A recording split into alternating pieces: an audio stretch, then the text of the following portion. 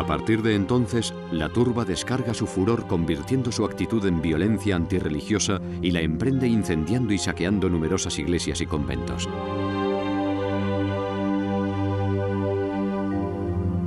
El primer incendio de lo que se llamaría la Gran Sonada se produce en la casa de los jesuitas, junto a la Gran Vía madrileña.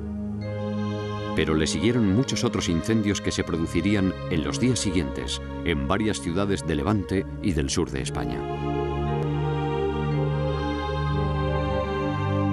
En Madrid, durante muchas horas, la multitud es dueña de la calle y el vandalismo se desarrolla en completa impunidad. La Guardia Civil espera órdenes para intervenir, pero el gobierno se limita a condenar verbalmente estos actos, pero no intenta evitarlos, ni exige a nadie responsabilidades por ellos. Esta pasividad permite que sean muchos los edificios afectados antes de que se tome la decisión de declarar el estado de guerra.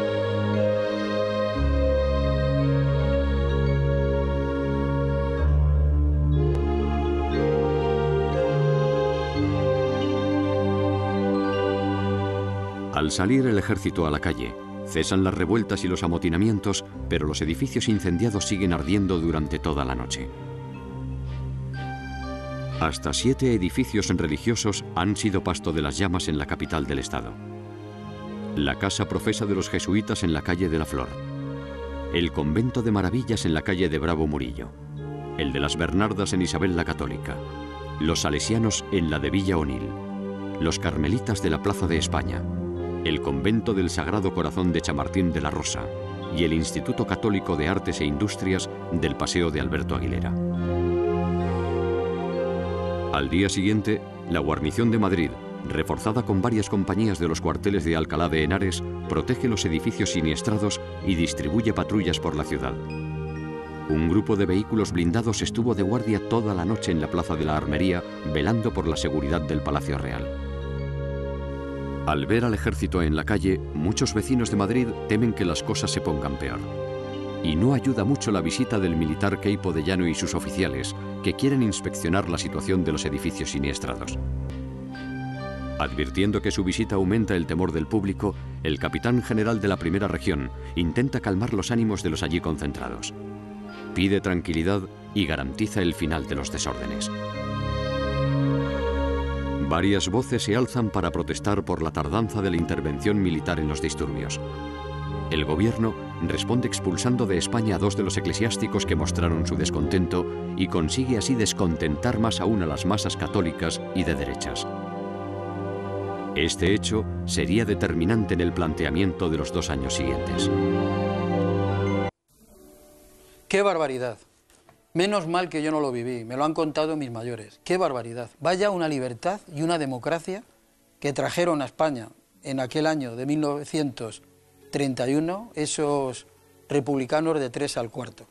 Señor Garzón, esto también es memoria histórica. Seguramente que muchos de los que le jalean en la universidad pública de este país, pues probablemente es que no lo sepan, o no quieren saberlo, o no se han enterado de estas atrocidades que escasamente hacía un mes que había sido proclamada la Segunda República.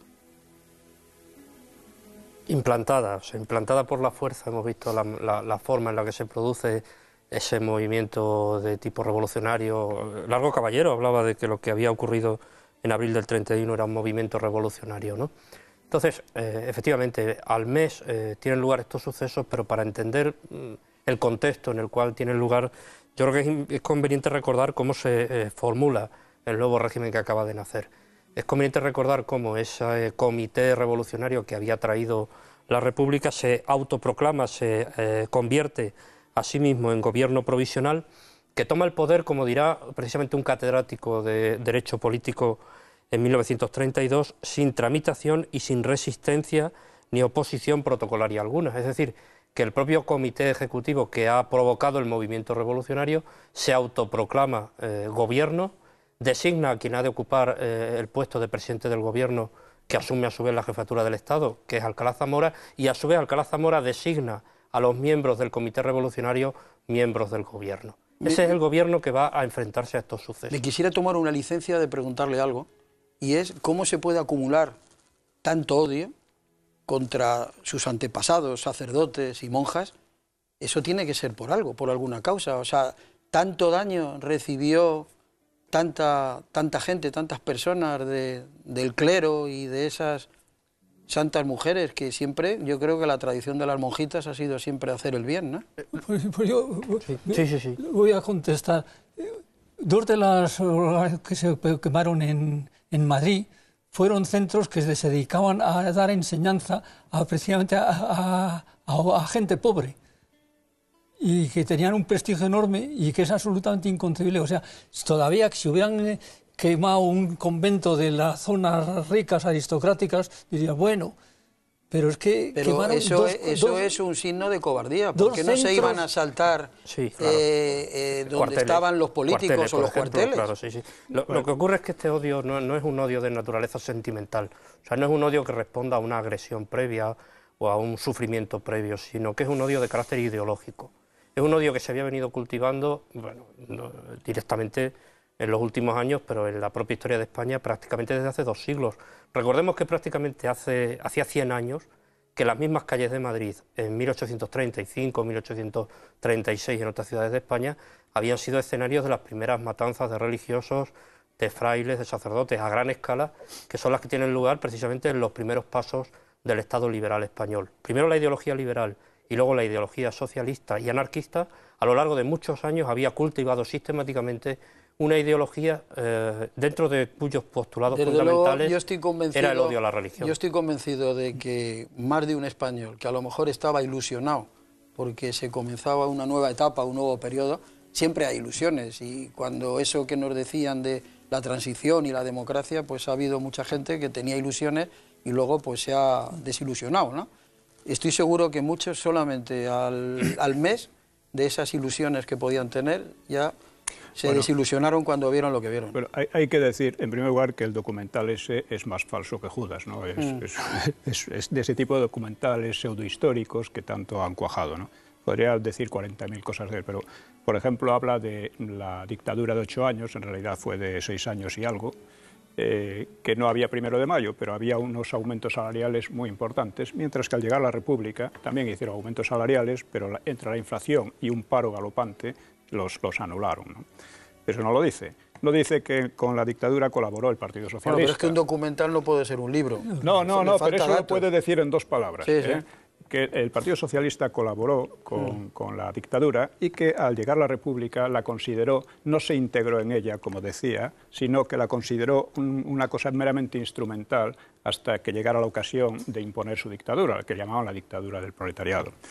Eh, y así sucesivamente. Y luego eh, olvida o no pone suficiente, no remarca lo bastante que las quemas de conventos, que no solo fueron de conventos, fueron de bibliotecas, algunas de las más importantes de España, que destruyeron labores de investigación de, años y años de, personas, ¿no?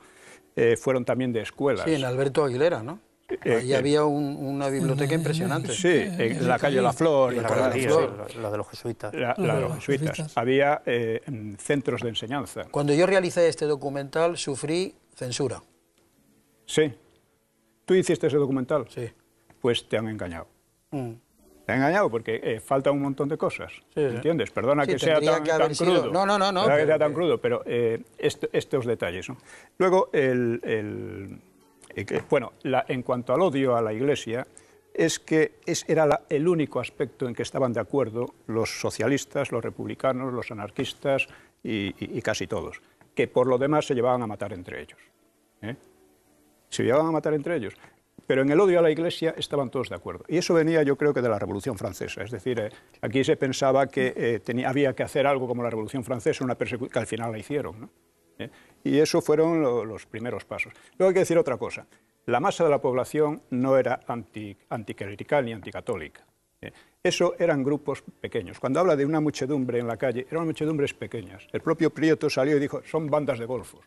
Lo que pasa es que, claro, como, el gobierno no movilizó a la policía y Azaña se, eh, vamos, impidió que interviniese el orden público, fue Azaña directamente el que más insistió en que no interviniese el Bueno, estuvieron toda la noche reunidos, ¿no? Y cuando ya deciden algo, ya era tarde. Azaña, eh, impuso que no interviniera. Sí. ¿Eh? Bueno, eh, sí, eso de la multitud a mí me ha extrañado a mí, porque efectivamente, dice, la multitud se, se aprovechó de las calles. No, no hubo tal multitud. Hubo grupos de activistas más o menos Que estaba todo orquestado, ¿no? Sí, sí. Pero sí, la reunión del Consejo de Ministros duró toda la mañana.